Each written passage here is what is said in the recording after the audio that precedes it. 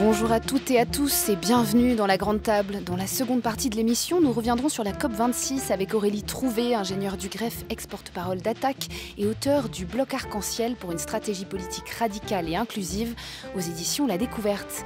Mais avant cela, cap sur la Normandie, les falaises d'Étretat et les vies qui s'y trouvent suspendues et qui soudain basculent. Dans Albatros, Xavier Beauvois saisit de sa caméra le destin tragique d'un gendarme, Laurent, qui en voulant sauver un agriculteur du suicide, le tue. L'histoire d'un corps qui tombe et d'un homme qui lave son chagrin dans la mer, d'une existence qui refait surface sous un ciel orageux de peintres. Le cinéaste Xavier Beauvois est aujourd'hui parmi nous. Il est l'invité de la première partie de la Grande Table.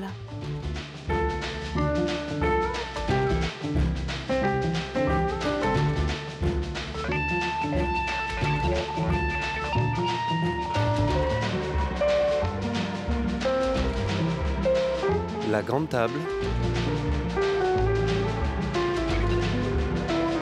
Maïlis Bessery. Bonjour Xavier Beauvois. Bonjour. Est-ce que vous êtes d'accord avec cette idée de crête euh, au bord des falaises? Est-ce que c'est comme ça que vous imaginez la vie de votre personnage, euh, le gendarme Laurent, euh, qui se situe effectivement au bord de ces falaises-là? De crête, vous parlez? Je- De crête, en tout cas d'être au bord euh, du précipice, euh, cette espèce de personnage un peu limite. Oui, c'est ça. C'est euh, voilà, c'est c'est un moment de, de sa vie où où il va peut-être mourir, où il va s'en sortir, mais voilà, c'est c'est un c'est assez fascinant. Moi, je je parle pas vraiment de crête. Moi, j'imagine ça plutôt comme une frontière. Parce que vous, il y a les vaches, il y a, les champs, et puis vous faites un centimètre, c'est la mer, hein. c'est la frontière, c'est la mer, c'est plus la France, c'est autre chose, c'est assez magique, ce genre de frontière. Alors pourquoi est-ce que justement vous avez choisi la Normandie pour raconter cette histoire qui est à la fois euh, l'histoire de cette gendarmerie-là, il y a cette immersion aussi euh, dans ce milieu des gendarmes, des hommes en uniforme, de ceux qui s'occupent euh, de l'autorité à un niveau très local, et puis il y a ce paysage social qui est décrit autour d'eux, paysage que croisent les gendarmes, et puis il y a le monde paysan qu'ils côtoient. Xavier Beauvois. Ben, tout simplement parce que j'habite là, et euh, c'est un, réel plaisir de tourner un film dans un autre pays ou dans une autre région, de, passer trois mois dans le Limousin par exemple, c'est- très, très très très agréable. Mais de tourner chez soi aussi, c'est un autre plaisir de, rentrer chez soi tous les soirs. Et ce, film, j- l'idée est née avec les gendarmes de- par rapport à, ce qu'ils me racontaient, parce que j'ai pas mal d'amis gendarmes là-bas. Et, euh, et puis euh, voilà, les paysans, c'est mes voisins. J'habite dans une ancienne ferme. euh, et euh, je, connais tous leurs problèmes, je connais leur vie. Et c'est un mélange de tout ça. euh, donc j'avais pas du tout envie de bouger, cette fois-ci. Xavier Beauvau, vous avez une vieille histoire avec les gendarmes, les uniformes et la police. On pense aussi à ce fil conducteur entre le petit lieutenant euh, notamment et ce film-là. Quel chemin vous, vous avez parcouru dans votre cinéma depuis ce film-là? De quel chemin, comment ça Le petit lieutenant, c'est- pourquoi Ah oui. un retour aux, aux uniformes Mais vous ne filmez pas du tout les choses du même point de vue, de la même manière? Bah, Déjà, c'est l'armée, c'est pas la police, c'est c'est déjà assez différent. Et puis, euh, moi, je crois qu'il doit y avoir un petit fond d'enfance quand on est cinéaste que de jouer aux gendarmes, aux voleurs aussi, ça, c'est- faut se l'avouer. C'est on joue avec des, des vraies voitures, des vrais gyrophares, c'est c'est assez. euh, voilà, c'est comme on jouait ça à ça quand on était petit. Je crois que ça, il y a quelque chose qui, m'attire, qui me fascine aussi là-dedans. Comme si c'était aussi parce que c'est l'autorité elle-même qui dérape, peut-être, qui commet une faute, une erreur, Je dirais plutôt un accident dans ce un cas-là. accident. C'est un accident. C'est... Je m'étais inspiré d'un vrai fait divers quand j'avais vu dans une émission d'un documentaire la nuit, au cœur de l'enquête, je crois que ça s'appelle, où un gendarme tirait vraiment dans la jambe d'un, suicidaire qui était dans le pavillon de sa, de sa maison. Et euh, il a réussi son coup, il a tiré d'assez loin d'ailleurs, et, euh, il a sauvé la vie du type. Et l'épouse euh, de ce monsieur a dit au gendarme Je suis bien content que vous l'ayez tiré dessus. Elle est vraiment consciente qu'il lui a sauvé la vie. Et donc, moi, je me suis dit Si euh, un de mes amis faisait ça, mais il rate son coup à un demi-centimètre près, et il touche l'artère fémorale, enfin voilà, c'est un accident. C'est, ça part de. Qu'est-ce qui se passerait dans sa tête quoi? Ou si ça m'arrivait à moi, un accident pareil, qu'est-ce, qui- se- passerait dans, ma vie, dans ma tête c'est, un petit peu n'importe quel accident comme ça. Une seconde à l'autre, votre vie bascule. D'un point de vue dramaturgique, le film est construit sur cette montée progressive aussi de, la pression du gendarme qui est soumis à un univers difficilement supportable aussi. on parlait de la misère sociale, des histoires d'inceste, des enfants qui souffrent, des cadavres. Il y a cette scène terrible d'un suicidé qui tombe à deux pas d'un couple de mariés qui sont en train de se faire prendre en photo sur la plage. Bah, c'est un, lot quotidien. cette année, on est à 15 suicidés.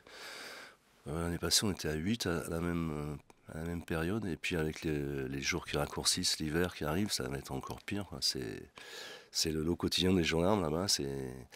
Et puis voilà, bah, c'est des, choses incroyables. Quoi. un, type qui, a cassé trois fois le nez de sa femme en deux mois. il dit mais c'est la seule, la seule façon pour qu'elle se calme. Des, des, des, gens qui se dénoncent, des choses. Bah, c'est, mais c'est un peu peut-être un peu plus flagrant à la campagne, parce qu'on se connaît plus, on voit plus les choses, mais bon, en ville, c'est plus diffus, mais bon, c'est aussi, aussi pareil, hein, je pense. Quelle transformation, euh, Xavier Beauvois, en tant que cinéaste, vous avez dû faire entre cette réalité euh, que vous côtoyez, qui est une réalité que vous filmez d'ailleurs à certains moments de manière quasi documentaire, assez frontale finalement. Vous suivez, euh, d'ailleurs certains personnages sont des, vrais gendarmes et sont des personnages choisis sur place ne sont pas tous des, acteurs. Et d'un autre côté, c'est une, transformation que demande aussi la fiction et le cinéma tel que vous le faites. Comment est-ce que vous avez circulé entre les deux? Bah, C'est un dosage assez instinctif en fait. C'est euh, à partir du moment où il y a cette sidération euh, euh, ce départ en mer, on passe dans un autre film. Quoi. on est plus dans la beauté, dans la contemplation, dans le, quelque chose d'autre. Puis je suis un peu aidé par, les, par la beauté des lieux, par les lumières. C'est filmer des choses euh, assez euh, dures dans un décor magnifique. Ça aide à, faire bouger le film vers autre chose que, que le documentaire euh, simple. Il y a presque deux films dans ce film-là. Il y a en tout cas deux parties. Une partie proche du documentaire où l'histoire est installée comme un fait divers et, où ça parle. Et une deuxième partie euh, de cet homme seul en mer. Plus onirique, plus. Sous des rideaux de pluie. Moi, je m'étais un peu inspiré de Bernard Moitessier, de, de, La Longue Route et, et de. Rappelez-nous cette histoire, hein, ce navigateur qui est parti, qui n'est pas revenu. C'était en 68, c'était le, le Bog Challenge, c'était l'ancêtre du, du Vendée Globe Challenge, donc la, la, course en solitaire autour du monde. Bon, avec des bateaux euh, très très lents par rapport à maintenant, et puis euh, pas de GPS, pas de radio, il n'avait rien. Et lui, là, il était en tête, il, est, il, a, il, a, fait les trois caps, et il repasse par le Cap Horn pour, pour rentrer en France. Et euh, là, il a décidé de ne pas rentrer. Peut-être pour sauver mon âme. Donc il a abandonné femme et enfant, il a fait demi-tour, il est parti. en Polynésie. En Polynésie, sur son bateau qui s'appelle Joshua, qu'on peut toujours voir à La Rochelle d'ailleurs. Et il a écrit des, livres magnifiques. Personne n'a jamais aussi bien décrit la mer, la nuit, euh, les oiseaux, les goélands, les, albatros, les poissons, le plaisir de boire un café, de fumer une cigarette. C'est, la solitude. Donc ça m'a assez inspiré pour la fin. même si j'aurais dû faire une série pour pouvoir rentrer un peu là-dedans, dans la contemplation, dans, ce temps-là. Il fallait qu'il y ait un drame pour que ce temps-là, euh, justement, de la contemplation euh, s'installe. On aurait pu imaginer que cette bascule de vie, elle puisse être introduite par n'importe quel événement. Là, il y a comme une espèce de cassure chez ce personnage. On ne sait pas s'il part mourir en mer, euh, si cette mise à l'épreuve des, éléments, ou s'il part justement affronter quelque chose de plus grand que lui, quoi. oui, s'il affronte quelque chose de plus grand que lui, et puis c'est aussi il faut préciser que c'est un petit-fils de Terre-Neuve dans le film. Donc, euh, les Terre-Neuve, c'était ces pêcheurs qui partaient neuf mois au large du Canada pour pêcher la morue. Donc, ils partaient euh, juste avant le printemps et revenaient, euh, neuf mois plus tard. moment de l'hiver, parce qu'ils ne voyaient jamais une feuille sur un arbre. C'était un métier terrible. Je me demande toujours si c'était plus dur ça ou, mineur de fond. Mais mineur de fond, euh, le soir on rentrait chez soi. Quoi. Mais là, non, c'était neuf mois. Et donc il y a aussi ce désir de mon personnage de, voilà, de se frotter un petit peu à, sa, à cette route mythique. Il y a cette histoire familiale. Hein. Ouais, cette histoire. familiale. Et puis voilà, c'est ça passe ou ça casse. Quoi. Ça, soit il rentre bien, ou soit il rentre pas. Quoi. Et le personnage de son épouse lui dit, à la, petite fille, lui dit, ben, la mère, ça va peut-être sauver ton papa, ça va peut-être le guérir. Il y a une, ombre qui plane euh, dans, ce film. Il y a l'ombre de l'agriculteur mort qui, plane. Il y en a une autre aussi qui était liée à ce tournage et ses origines dont vous parlez. Vous parlez de lumière, vous parlez de peinture. Euh, on pense évidemment à, votre lien avec euh, Jean Douché. et je vous propose d'écouter une archive du jour au lendemain. C'était chez Alain Weinstein sur France Culture le 9 avril 2014. L'idée ou la conscience que j'ai eue de la critique, c'était que la critique était nécessaire dans tout processus de création. Si on prend un peintre, quand il met une couleur sur, sa toile, bon, il est obligé à un moment de se reculer et de regarder l'effet que ça produit. Et il revient à sa toile. C'est-à-dire que la critique est intégrée au processus même de création dans quelques domaines que ce soit. C'est vrai en littérature, c'est vrai en, musique, etc. Et au cinéma, évidemment, c'est pareil. Si maintenant on passe euh, du statut d'auteur, enfin de, du créateur, c'est-à-dire le peintre, le cinéaste, etc., qui se met en question par rapport à l'œuvre, si on se recule, il y a forcément le témoin, le spectateur, etc., enfin, tout ce qu'on veut, le lecteur. Euh, et celui-là est aussi un critique qui fait revivre l'œuvre. C'est cette critique-là qui m'intéresse. C'est une critique qui participe de la création et non pas une critique qui euh, donne des notes comme un petit prof qui, euh, qui, annote la copie de son élève. Xavier Beauvois, alors plusieurs choses dans ce que vient de dire euh, Jean Douché. Peut-être d'abord quelques mots sur la peinture, ce recul parfois nécessaire par rapport à la toile. Il y a ces, ces ciels orageux euh, magnifique. Euh, c'est ciel ou c'est cieux d'ailleurs, selon si on utilise le terme religieux ou pas. Euh, Xavier Beauvois, comment, voilà, quelle lumière vous, aviez, avez essayé de saisir? Qu'est-ce qui s'est passé du côté de votre caméra à partir du moment où vous avez commencé à filmer sur le bateau en mer? Bah, Voilà, c'est. Je rappelle toujours que l'impressionnisme, c'est né au Havre, dans le port du Havre. Impression soleil levant, voilà, c'est là. Et ils sont tous venus dans le coin Etretat, euh, euh, c'est Fécamp. Euh, et c'est prendre. Ce qui les intéressait, c'était pas spécialement de filmer, de peindre, je fais un lapsus, de peindre une falaise, mais c'était de peindre un moment de lumière. Et comme ça change toujours la lumière là-bas, il faut aller assez vite pour, pour, pour choper cette lumière. Donc c'est d'où l'impression, l'impressionnisme d'aller assez vite comme ça. Et Bon, l'équipe est plutôt inquiète pour la lumière parce qu'ils habitent pas là, mais moi je sais que de toute façon ça va changer. Il peut, il peut pleuvoir à 11h et, à 13h il y aura une lumière extraordinaire. Et donc c'est, voilà, il faut avoir un peu de chance aussi pour ça. Et en mer, on a eu de la chance parce que on dit toujours quand il y a dans les films les problèmes, c'est les 3 B quoi, les bébés, les bateaux et les bêtes. Donc euh, on sait que dès qu'on va mettre un, pied sur un bateau, ça va être compliqué.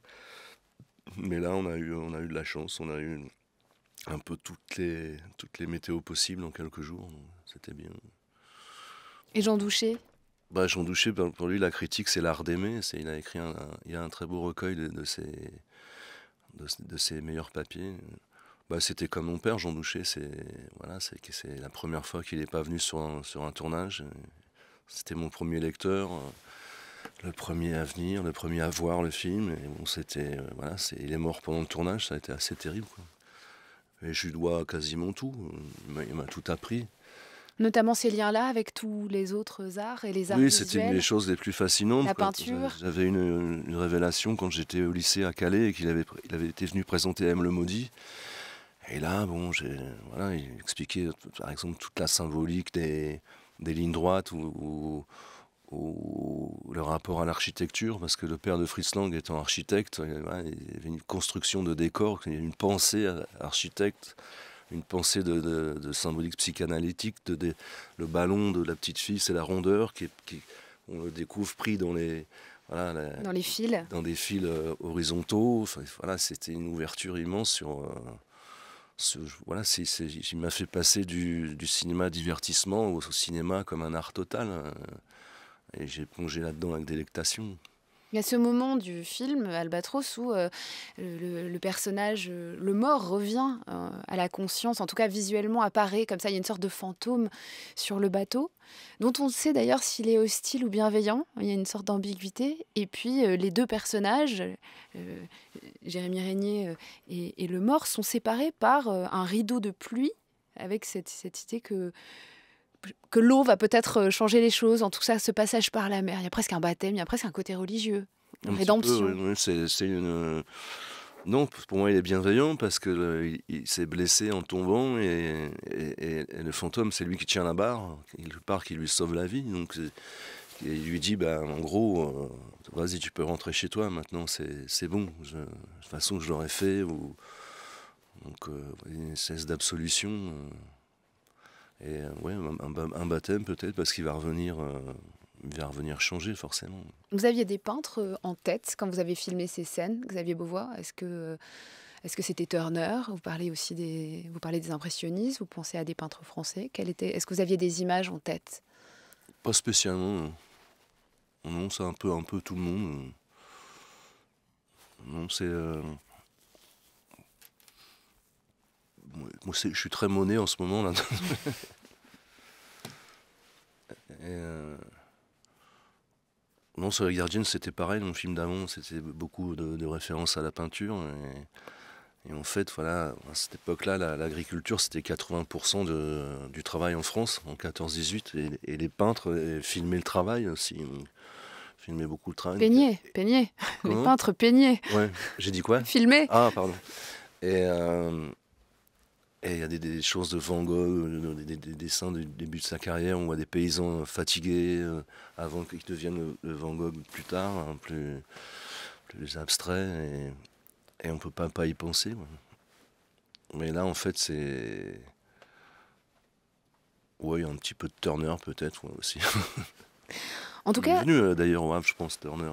Il a, fait des choses, je pense.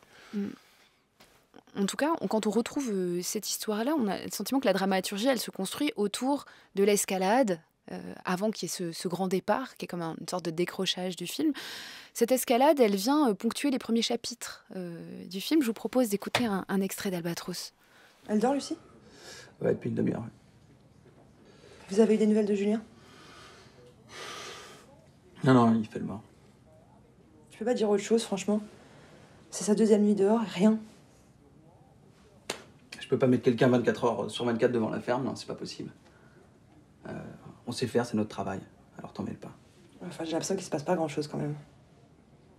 Je te parle des, bouts de cervelle que je ramasse sur les galets. Des, poivreaux, des, des, coupes qui se tapent sur la gueule euh, trois fois par semaine. Des gamines qui se font violer par, par la famille. Hein, des cadavres. Est-ce que ça sent un cadavre? Je t'en parle, ça? Hein? Non. Je te garde au bureau. Alors, épargne-moi tes, tes remarques, s'il te plaît. À la maison, je suis à la maison. Xavier Beauvois, il y a comme un, parallèle entre, euh, d'un côté, euh, euh, le désespoir de l'agriculteur qui est au bord du suicide, qui est harcelé, enfin qui se sent harcelé administrativement et qui ne, ne, reçoit plus ses aides, etc. Et de l'autre, le burn-out du gendarme qui est en train de monter en pression face aux atrocités qu'il croise ces deux vies que vous aviez menées comme ça, un peu en parallèle ou... Non, je pense qu'il n'est est pas spécialement en burn-out. C'est euh, avant son accident. Je pense que c'est euh, là, c'est une scène en l'occurrence où, il essaye d'expliquer qu'il faut, cloisonner. Quand on fait ce genre de métier, c'est comme avec notamment avec de l'humour, avec plein de choses. C'est un reporter de guerre. Euh, J'en ai rencontré quelques-uns, c'est des gens qui ont énormément d'humour pour supporter ce qu'ils voient. On voit un médecin qui soigne un enfant depuis euh, deux ans, il arrive à l'hôpital le matin, l'enfant est mort dans la nuit. Donc si, vous ne cloisonnez pas, si vous ne pas, trouvez pas une méthode comme les gendarmes, eh ben, vous pouvez pas vivre. Donc là, c'est une scène où il explique bien, je suis chez moi, tu voilà, on essaye de... Je ne suis plus gendarme, j'ai enlevé mon uniforme. D'ailleurs, l'uniforme les aide aussi à, c'est assez, étrange. Quoi. Ils peuvent euh, subir des choses avec l'uniforme qu'ils ne subiraient pas sans. Par exemple, un, suicidé qui tombe là, ils vont le ramasser, ben, ils font une blague et ça va. Quoi. Mais en revanche, si ce même gendarme était en vacances avec sa famille et qu'il voit la même chose, il serait bouleversé. Quoi. Ça, redevient quelqu'un de normal. Dans les affaires que vous avez choisies, euh, qui concernent ces gendarmes-là, que ce soit des violences faites aux enfants, des maltraitances, euh, des histoires de suicide, euh, on a le sentiment qu'il y a quand même un, engagement face à la fois à ce qui se passe pour ces gens, mais aussi au monde agricole qui souffre. Est-ce que c'était une, une- dimension importante, la dimension plus ou moins politique, en tout cas très traitée de manière assez documentaire Le, le comédien qui joue l'agriculteur euh, n'est pas un comédien, c'est un non, c'était agriculteur. un agriculteur, Geoffroy Séry. Là aussi, c'est votre côté impressionniste, Xavier Beauvois. En tout cas, euh, il y a un rapport au réel. Oui, mais c'est, on ne se rend pas compte de ce qui se passe. hein. C'est, voilà, il y a, il y a- il y a plus de 3000 fermes à vendre en, en France. Euh, les jeunes ne veulent pas forcément reprendre la ferme des parents. Si jamais ils la reprennent, ils disent mais je fais pas les vaches, je veux bien faire de- des céréales mais, euh, ou autre chose, mais les vaches non, j'ai, envie d'aller en week-end, de pouvoir avoir un, week-end de temps en temps, euh, j'ai envie de, vivre. Et, euh, et après, vous avez les Chinois qui viennent racheter plein de terres un peu partout dans le monde, mais, bien sûr en France, parce que et ils vous proposent trois fois le prix de l'hectare, trois fois le prix que ça vaut. Donc les, gens craquent et leur vendent, leur vendent tout ça. Et puis après, euh, on va avoir des, des champs de blé chez nous, mais qui vont, partir directement euh, en Chine. Ce ne sera pas pour nous nourrir nous, ce sera pour nourrir les Chinois. Et euh, on va devoir importer des choses qu'on a là, devant chez nous. Et puis les, un suicide tous les deux jours, c'est pas une blague, c'est- la réalité. Les salaires, c'est voilà, c'est terrible. Le lait qu'on leur achète, les sociétés comme Lactalis qui se font 30 000 ou 20 milliards de ENF par an, euh, qui leur le lait à la limite euh, euh, moins cher que ce que ça coûte à produire. Enfin, c'est compliqué. Alors, ce que vous racontez est complètement illustré par un passage du film qui est celui des passeports demandés aux bêtes. Euh, le personnage de Julien, de l'agriculteur, est contrôlé. Ça fait des années qu'il ne reçoit pas ses aides européennes. Euh, et à chaque fois, on trouve quelque chose à redire sur euh, l'espace consacré aux bêtes. Vous c'est compliqué. Par exemple, si vous faites un passage au bio, forcément, ça, ça demande un investissement. C'est pas la même, euh, c'est pas la même culture, c'est pas la même, pas le même élevage. Il y a, y a des frais. Donc vous investissez, vous empruntez de l'argent aux banques, mais l'argent qu'on vous promet pour le passage du bio n'arrive pas. Ou arrive avec des années de retard, donc vous pouvez pas lutter contre ça. C'est une chose que vous dev- devriez avoir, vous l'avez pas. Et ça traîne, ça traîne, ça traîne. Donc c'est- c'est- il se retrouve euh, encore des agios en plus, des, des prêts. ils sont un peu pris à, la gorge.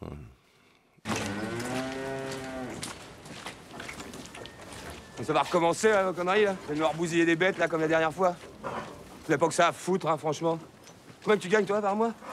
Combien? Dis-moi Combien t'es payé à casser les couilles, là Combien vous gagnez là Répondez Moi, quand vous me posez une question, je réponds. Vous voulez regarder quelque chose, je vous montre. La taille des bâtiments, tout. Réponds-moi 350 balles, moi, par mois. J'ai pas de samedi, pas de dimanche, pas de vacances. Puis vous venez encore casser les couilles. Dis-moi alors, combien faut pas bien soigner mes bêtes. Regarde ça. Qu'est-ce qu'il vous faut de plus?